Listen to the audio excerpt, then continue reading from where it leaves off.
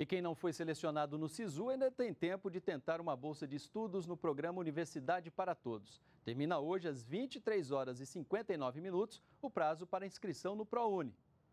Neste ano, mais de 125 mil bolsas de estudo serão disponibilizadas. São 68 mil bolsas parciais, com 50% do valor da mensalidade, pagos pelo governo, e 57 mil bolsas integrais. Para outras informações, acesse a página siteproune.mec.gov.br.